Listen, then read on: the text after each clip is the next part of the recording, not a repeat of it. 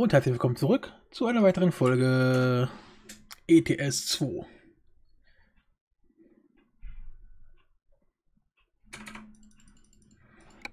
Warum braucht der immer so langsam Spielstart? Was denn los? Hammer nach Kolm.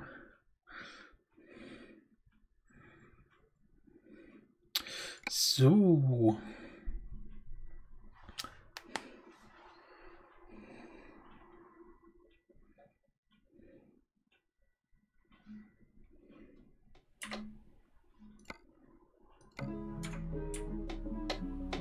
Okay, wir fahren los.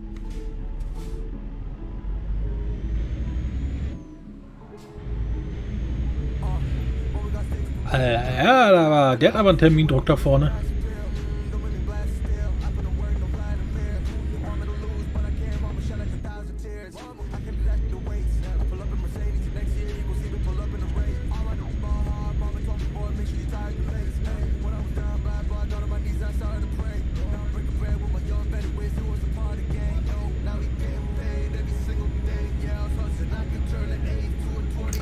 Der, dass meine Kopfhörer viel zu leise sind? Oh ja. So.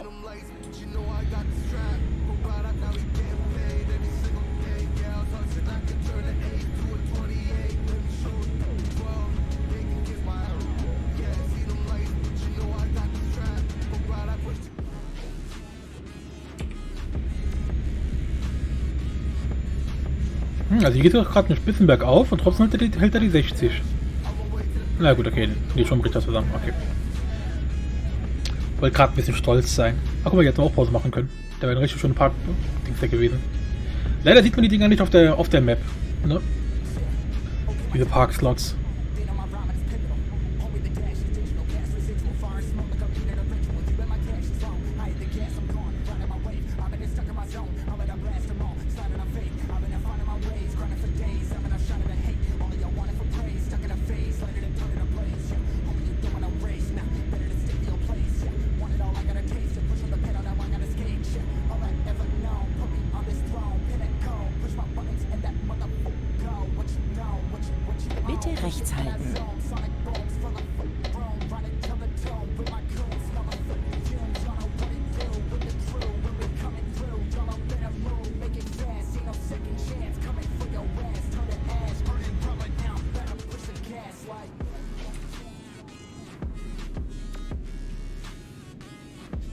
Uh, I got a dash. I'm way to the bag. Boy, you know I push the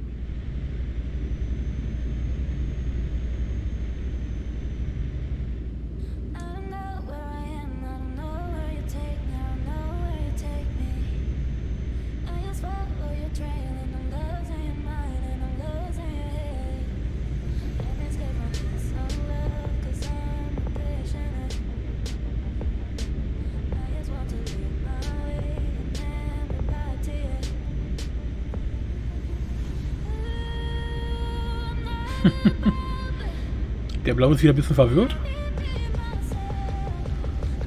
Oh, der Gelbe ja auch. Leute. Er hat ein bisschen Gewicht auf der Achse hier. Hat mir nicht so eine Spielrenzen. Sonst klatscht das mal kurz.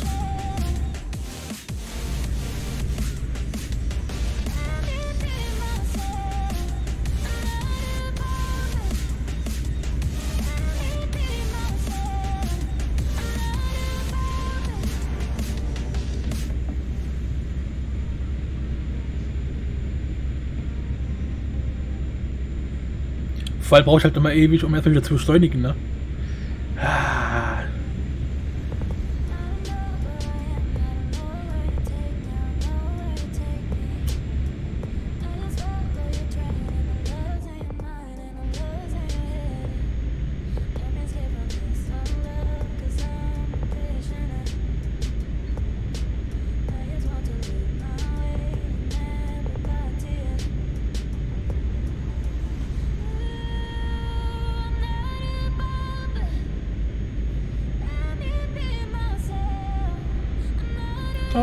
So, Steigung vorbei.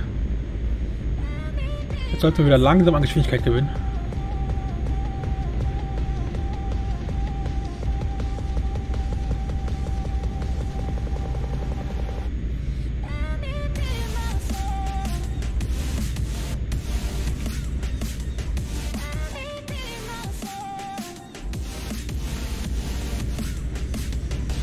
Oh, gerade wo ich Geschwindigkeit hatte.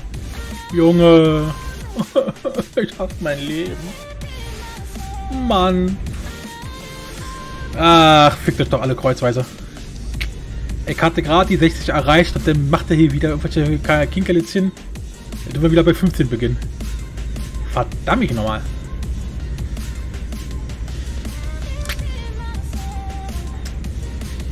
Ist doch nicht wahr.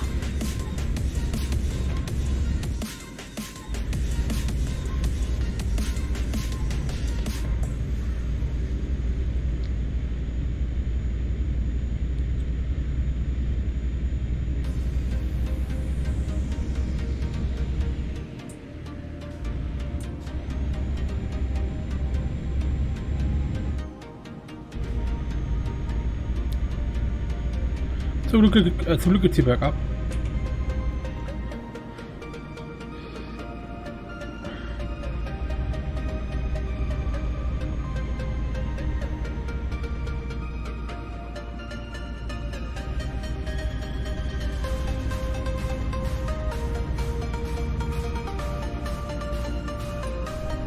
Ja, da vorne Stau. Ja. Da vorne gibt's Stau. Zumindest werden die LKW da vorne langsamer.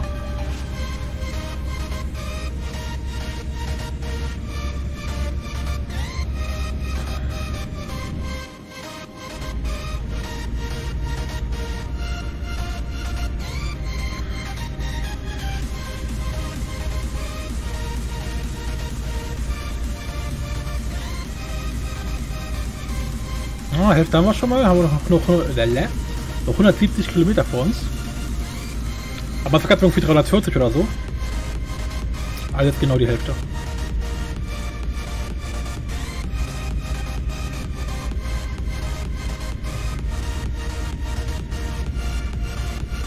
Warum? Warum schwer so langsam hier? Was ist los mit dir?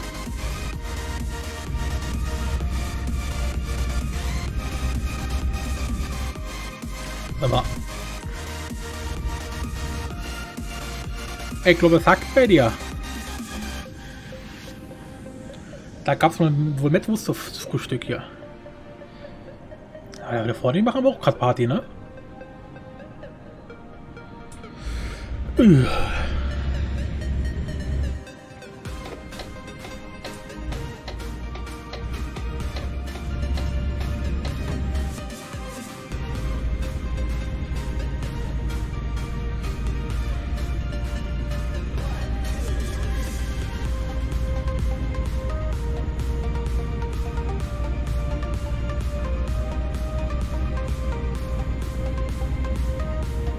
Einkommen. Das habe ich doch gerne. 1680, ey.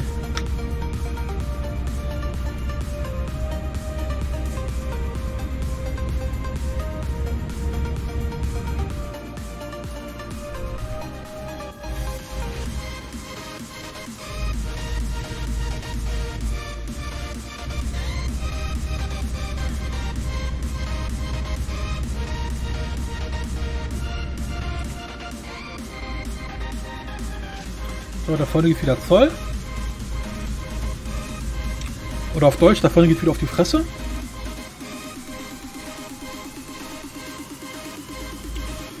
So, mal langsam vom Gas gehen hier.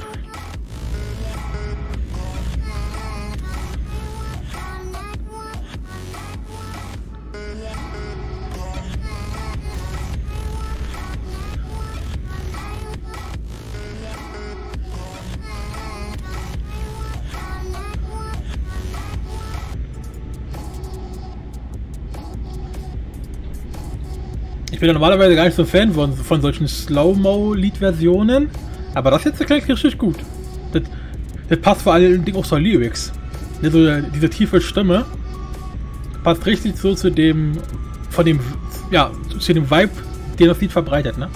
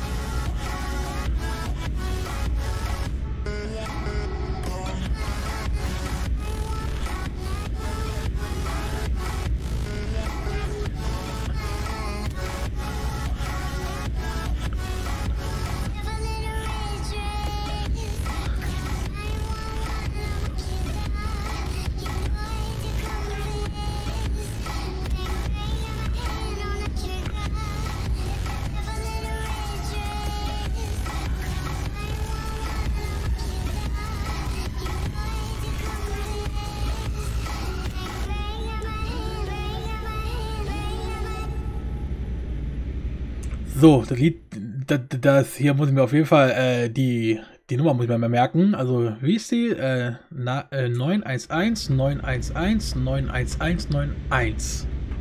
Klingt nach, klingt nach einer ganz schön langen Nummer. Ist das eine Schweizer Nummer oder Schweizer Bankkonto?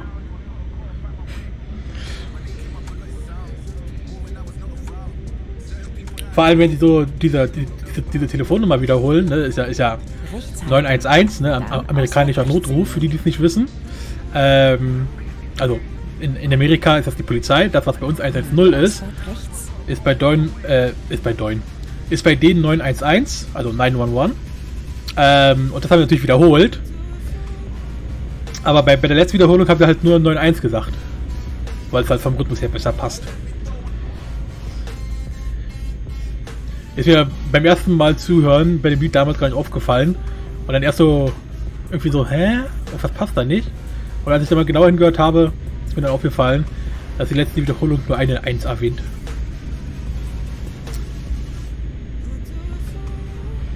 Was ein trügerischer Fehler sein könnte. Wenn jetzt jemand nur dieses Lied kennt und versucht den Notruf zu wählen.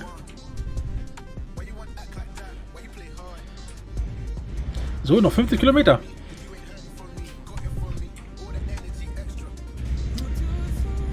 Schaffen wir locker in der Folge. Geil. Da kriegen wir ja in den acht Folgen, die ich heute aufnehme, ja durchaus noch ein paar Schwerlasttransportmissionen hin. Wobei ich mal gucke, welche Leistung unser LKW hat.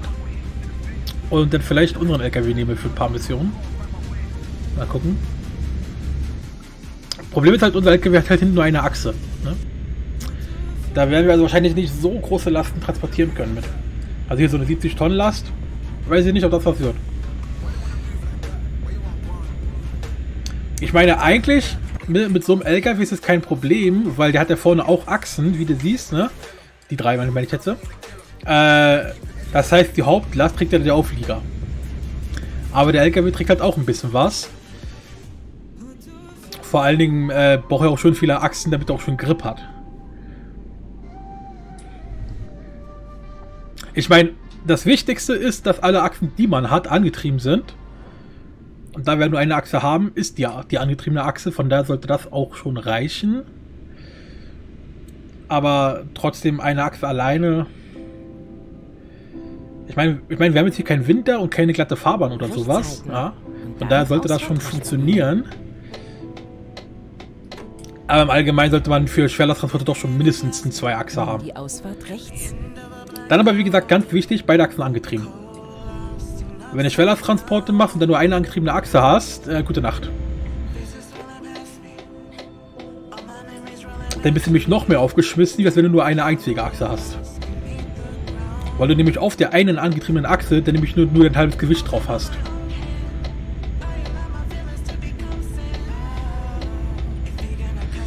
Hier steht schon wieder super eng. Alter, wie sich der LKW neigt, ey, wow. So, ich muss jetzt aufpassen, wo der LKW hinten wieder aufschwenkt. Äh, der Auflieger. Aber was ist hier alles, Alter, ist alles voll. Leute, was ist los mit euch?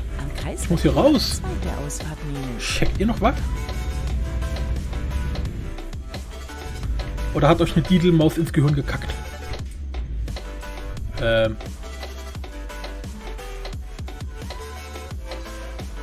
Ich dachte, wir haben Vorfahrt. Gilt wohl doch nicht überall, oder was?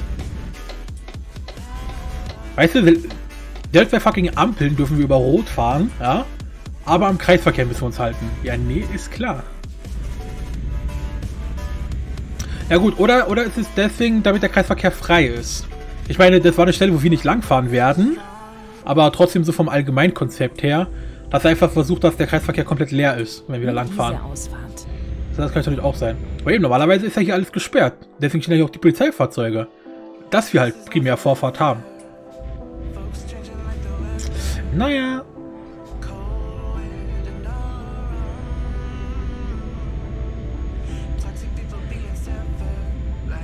Okay, weißt du was? Leg mich am Arsch. Welche Nummer war das? Boah. So. Ich hab grad einen Ohrwurm davon. Sorry.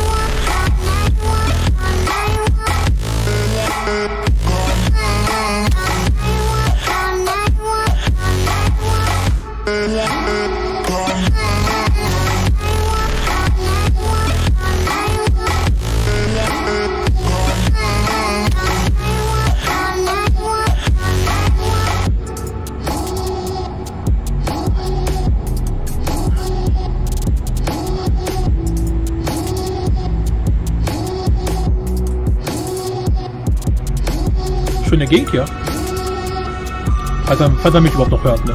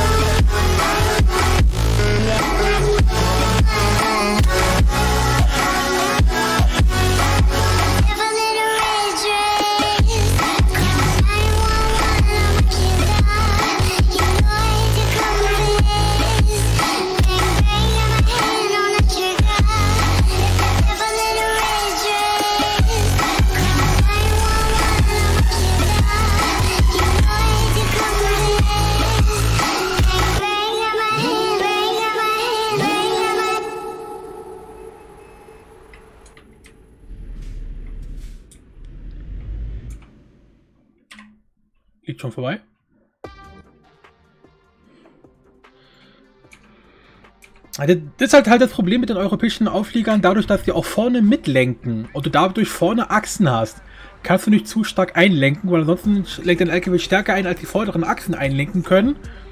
Und dann hast du Kabelsalat. Was mache ich hier gerade? So, so. Und da muss ich jetzt auch gucken, wie ich am, am dümmsten die Kurve nehme, aber ich glaube, so passt es. So, let's go. Ich habe ein Ausrufezeichen. Achso, Luftdruck. Hab so oft gebremst. Am Kreisverkehr zweite Ausfahrt Es nehmen. tut mir so sorry. Ist da hinten die Wagen, die, die warten? Äh, da die Wagen.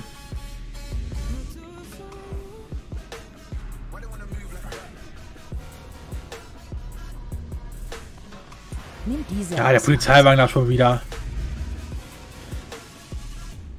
Ich stehe halt, steh halt mitten auf der Wiese. Soll ich schon mitnehmen mit der Ecke da? ja, was ein Opfer. So, sind wir gleich da, ne? Noch drei Kilometer. Aber bei drei, drei Kilometer Strängel, äh. Schlängelstrecke. Muss ich überhaupt blinken? Ist ey, ist da. Ich weiß immer nicht, ob ich als Schwerlasttransporter jetzt blinken muss oder nicht, weil wir ja eben, wir haben ja exklusiven Straßenzugriff. Sag ich mal. Vor allen Dingen wissen die anderen ja, wo wir langfahren, weil ja der den Weg weist. Von daher bin ich immer so ein bisschen unschlüssig, ob ich jetzt blinken muss auf der Autobahn beim Ab. Also auf der Autobahn habe ich immer geblinkt, weil da fahren ja auch andere noch neben uns lang. Aber selbst da weiß ich nicht, ob wir da überhaupt blinken müssen. Oder sollen. Dürfen.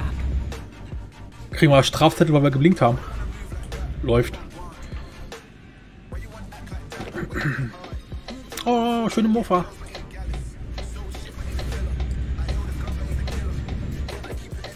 Hammer. Ich finde es immer voll witzig, wie der immer halb auf die andere Spur fährt. So richtig aggressiv.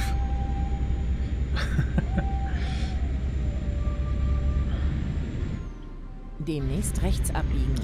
Ah, oh, da hinten kommt ein paar heftige Haarnadelkurven. Dort gibt Freude. ab. So, jetzt wird's spannend hier. Mal speichern sich das aber.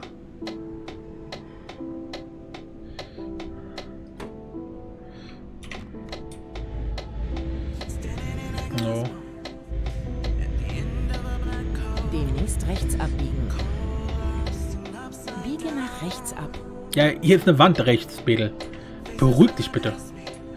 Oh, ich glaube, es wird zu eng. Fahr mal ein bisschen hart nach rechts, damit wir den Auflieger mehr nach rechts bekommen. Weil sonst würde ich, dadurch, dass der Auflieger aufschwenkt, gegen die Wand stoßen. So, jetzt wieder ein bisschen gerade ziehen. Und jetzt sollte es eigentlich passen. So ungefähr. Sieht gut aus.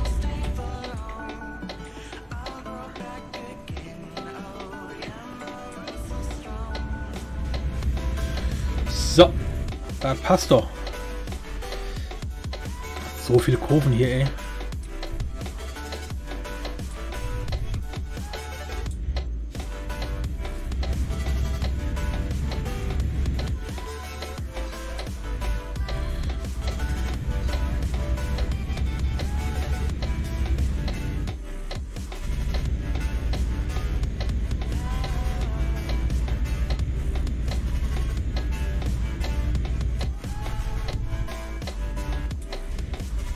Sind am Ziel angekommen. Ja, das Ziel ist da vorne.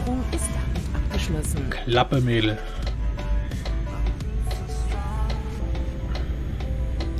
Achthundert Dollar. Das ist aber nicht so viel.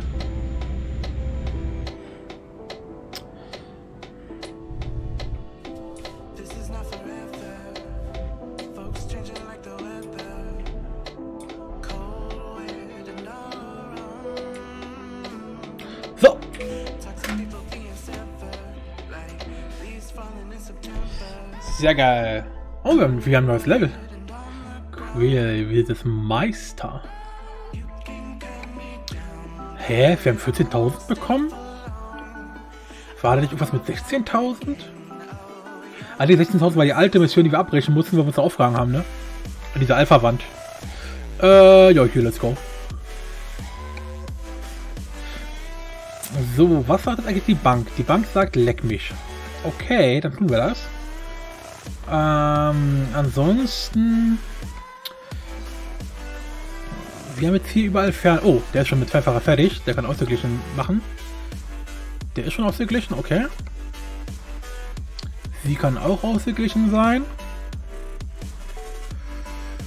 Ja, ganz ehrlich, ich mache mal alle jetzt ausgeglichen, weil die ist auch schon fast fertig, von daher kommt der eine Punkt mehr oder weniger. Lego Mio. Ähm, und ich bin nämlich mittlerweile bei meinem privaten Spielstand, also wenn ich privat spiele, gehe ich mittlerweile eine, eine etwas andere Devise vor.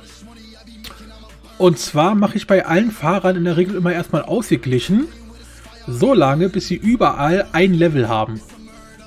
Weil nämlich äh, das erste Level die Sachen freischaltet. Das heißt hier zum Beispiel, äh, die Dame, äh, der Typ, der kann keine fragile Fracht fahren, weil er halt hier kein einziges Level drin hat.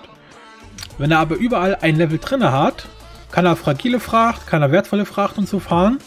Und dann äh, mache ich Fernfahrer voll, sodass er dann quasi äh, fragile Fracht und so über weite Distanzen fahren kann.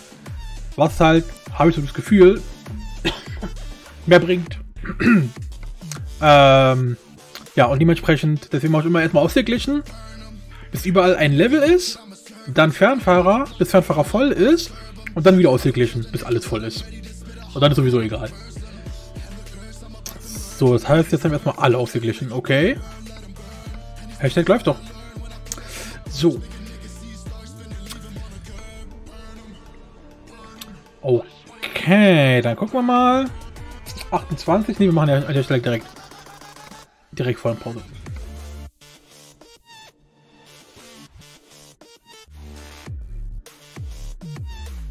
Okay. Ein schö- ein schöner Mix aus, aus, aus Web und äh, ja, Dubstep. Ich, ich muss mal gucken, vielleicht werde ich mal hier in der Liste ähm, die Sachen nochmal etwas anders benennen, weil ich habe jetzt einfach aus Convenience äh, überall einfach Zahlen reingeklatscht. Weil das Problem ist, wenn man die ganzen Titel downloadet vom from the Internet, also von YouTube.